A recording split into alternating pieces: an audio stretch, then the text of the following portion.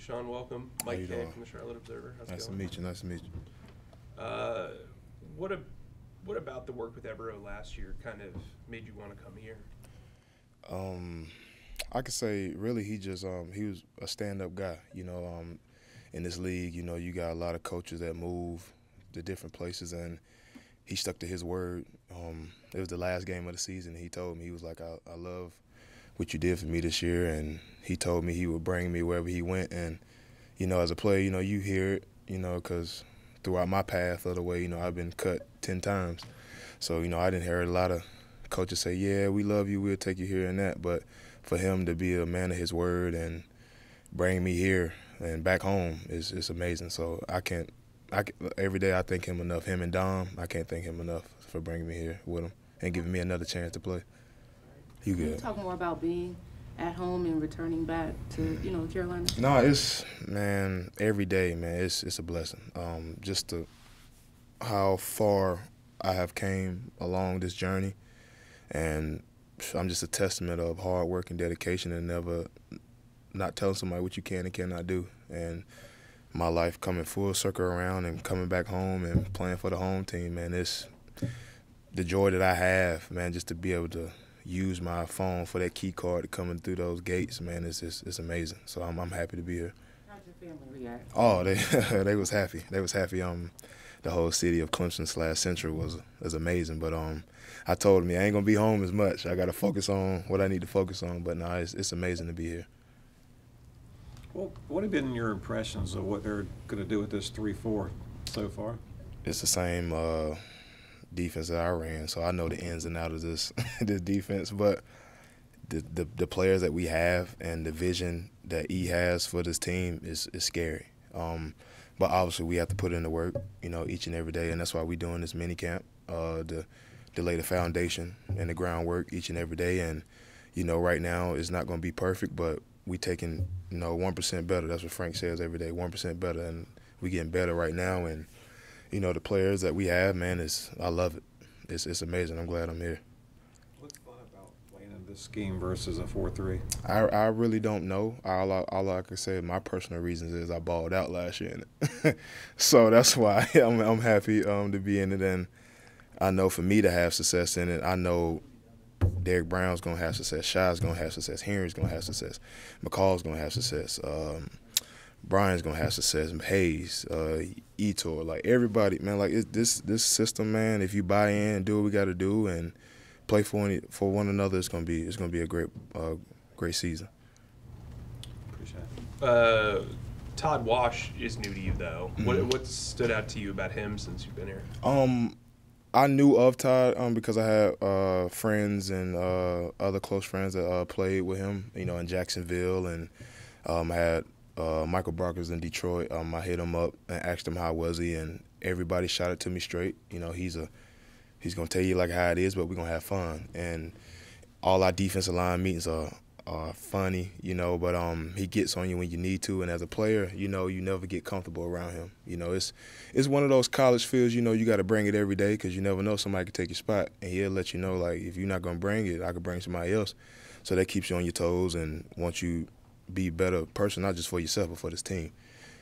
Given your history in the league, though, you're always kind of on your toes, right? Yeah. I'd imagine. Um, how do you not become content? Like, how, how does that? How do you avoid that mindset now that you you have signed this contract? That you are with the guy that that you've shined with. How do you how do you do that mentally? I think that's just me.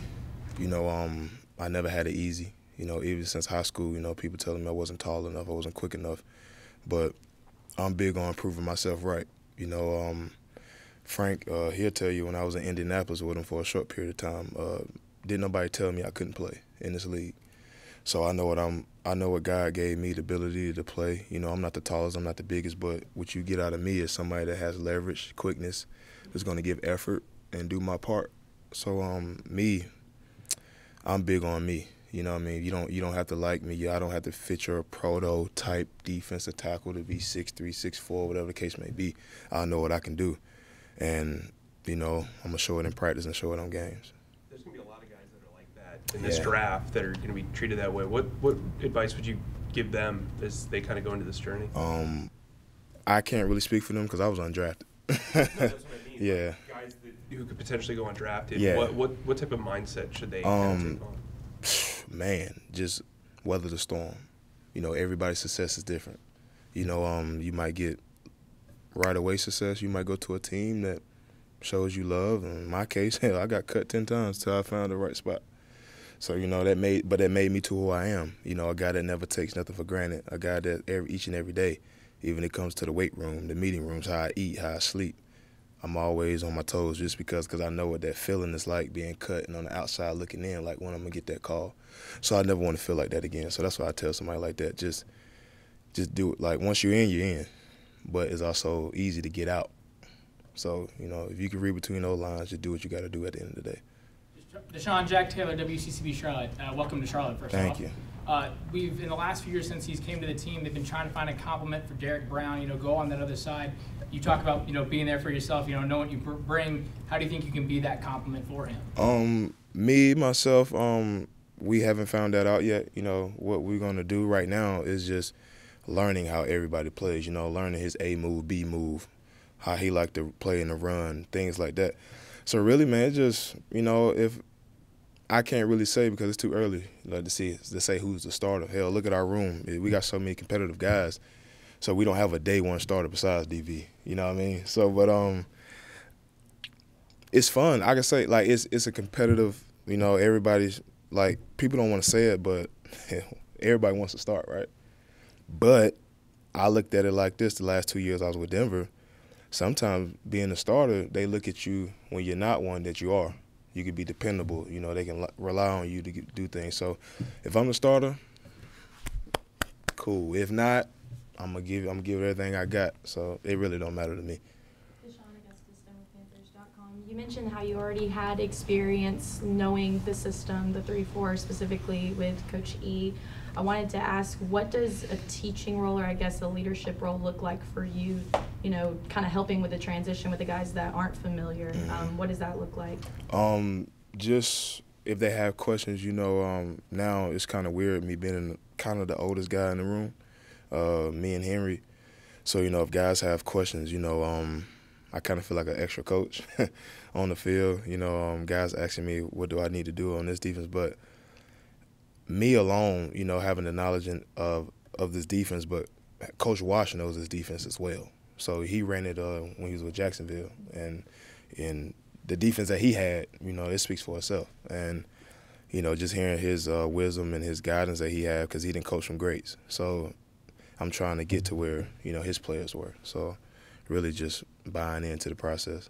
You called it scary. Mhm. What does that mean to you? Scary is just everybody buying in.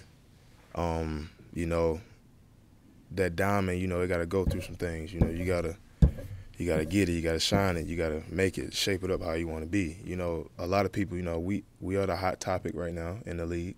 You know, with the number one pick and things like that, but we got to work. You you're not gonna be anywhere without just people saying a lot of things. I don't want to throw a team on the bus, but hell, they was good on paper last year in Arizona, and look what happened. So nah, we not gonna be that. You know, we're gonna put the work in, and then that work will match the guys that we have, and then hopefully at the end of the end of the year we'll be where we need to be because we can win right now. What's Dom bring to this group, and has he talked much about being here the first time around? Oh, Dom is he helped us out last year. Oh my goodness, it was he simplified the game so much, and having him out it's like an extra cheat code. Him and Coach Caldwell, it's a, it's a cheat code. So um, I say to players, just ask because he has so much knowledge. But having him is like a security blanket for E. It's, it's amazing.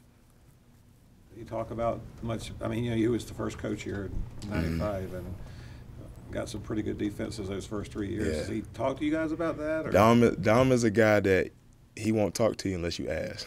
so if you want to get that wisdom and get that guidance, go talk to him. His door is always open. So he'll tell you. Okay, cool. Appreciate y'all. Thank Thank you. you. Thank you.